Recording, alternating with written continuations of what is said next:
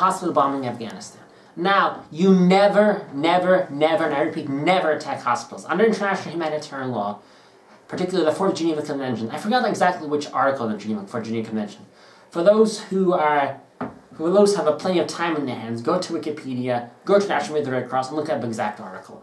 Anyway, um, you never attack hospitals. Ever.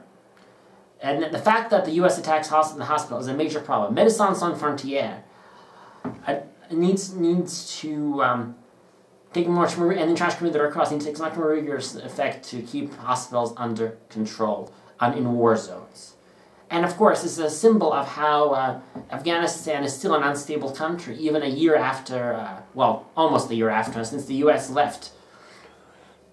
And it also shows how the current Afghan government needs to, uh, to solve their own domestic tranquility problem. Somehow, somehow needs to be corrected. Thank you.